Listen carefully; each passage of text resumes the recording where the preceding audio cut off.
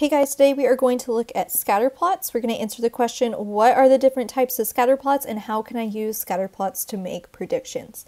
So scatter plots are graphs that use points to show the data between two variables or bivariate data.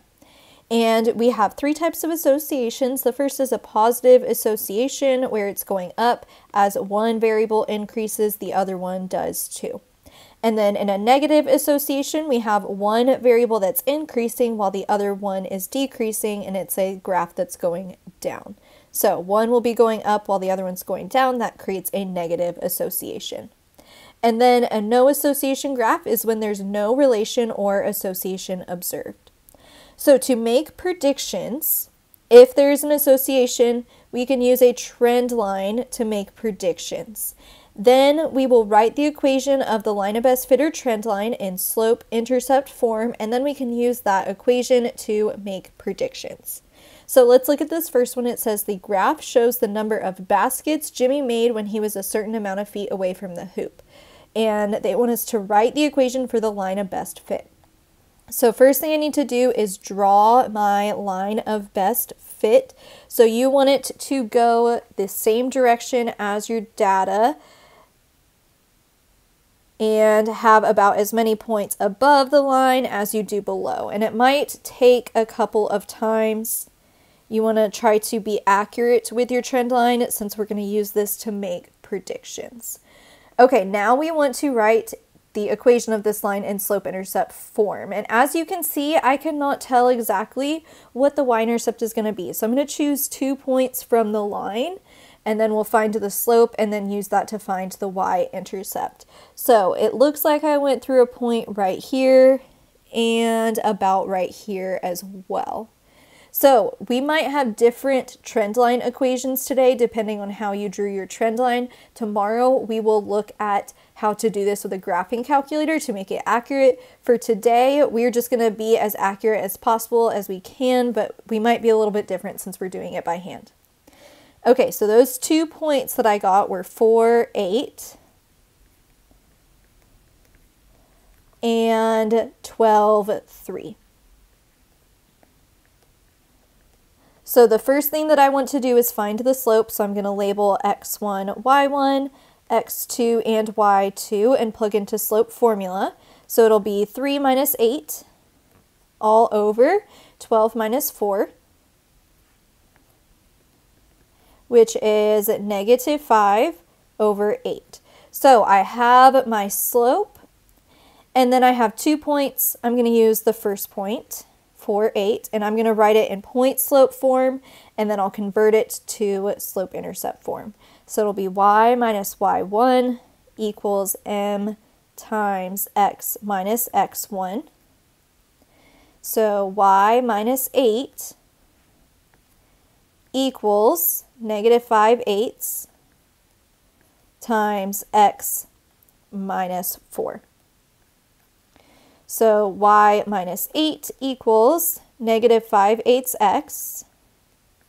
And then I'm going to do negative 5 eighths times negative 4 in the calculator. That becomes 2.5. So plus 2.5. And then I'm going to add 8 and I get y equals negative 5 eighths x, and then 2.5 plus 8 is 10.5.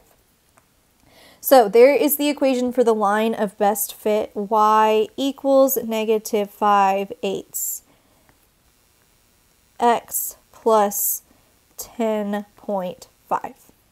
And then part B says, what is the best prediction for the distance Jimmy was from the hoop if he made three baskets?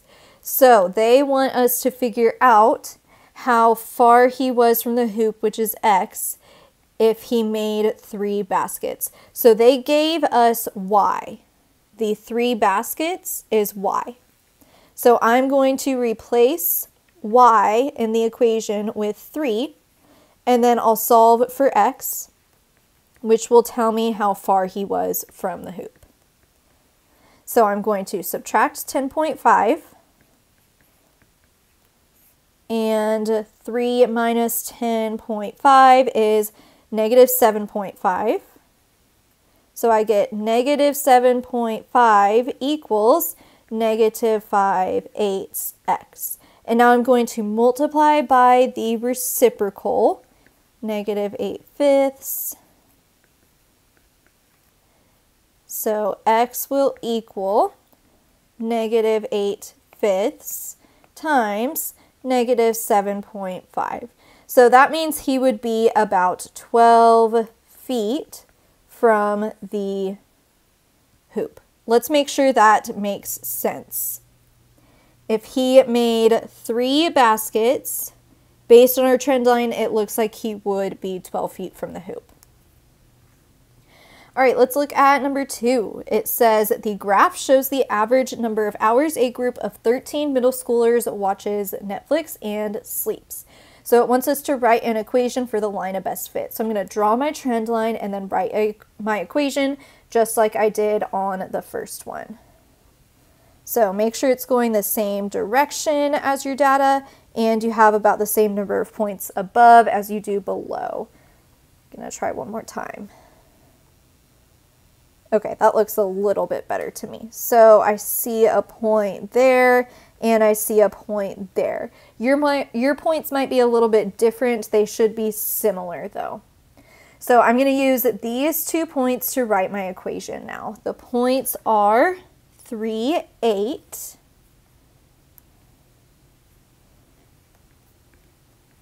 and 6, 4. and I'm going to label them x1, y1, x2, and y2, and I'm going to find the slope. So it would be 4 minus 8 all over 6 minus 3, which is negative 4 all over 3. 6 minus 3 is 3. So the slope is negative 4 thirds. And now I'm going to use this slope that I found, and I'll just use the first point to write my equation in point slope form and then we'll convert it to slope intercept form. So point slope form is y minus y1 equals m times x minus x1. So it'll be y minus 8 equals negative 4 thirds times x minus 3. So y minus 8 equals negative 4 thirds x, and then negative 4 thirds times negative 3 is positive 4. And then I'm going to add 8, and I get y equals negative 4 thirds x plus 12.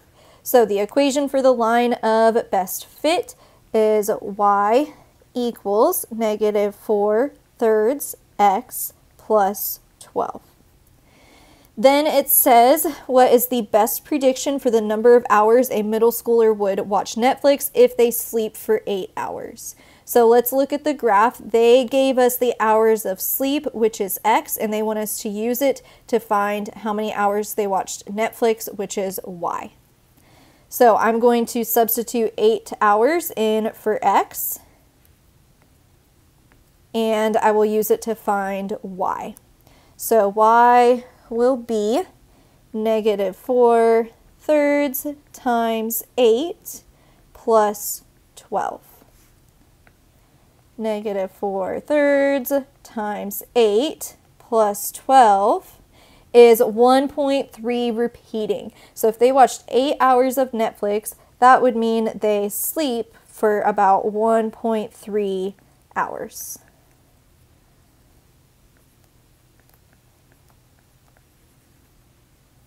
All right, last one, number three, says the data in the table shows the number of miles driven in a road trip after a certain number of hours. Graph the data in the table, and then we're going to write an equation and use it to predict. So let's go ahead and graph this. After one hour, they've driven 62 miles. So about right there. Two hours is 118. Three hours is 175 four hours is 245 and then five hours is 305. And then I'm going to draw my line. Okay, so this data is pretty linear. I don't really have any outliers here. So what I'm going to do is just choose two points from the table and then use those to write the equation.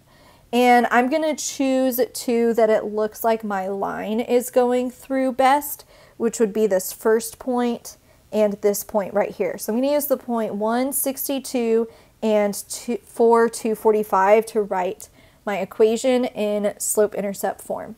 So this would be x1, y1, x2, y2.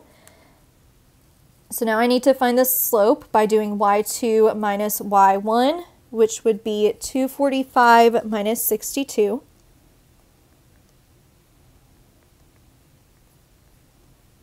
All over 4 minus 1.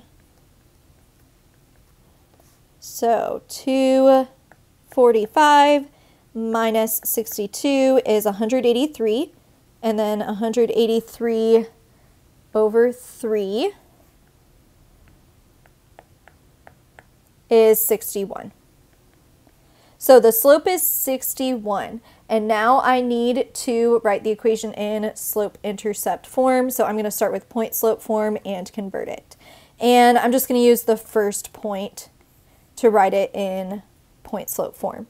So it'd be y minus 62 equals 61 times x minus 1.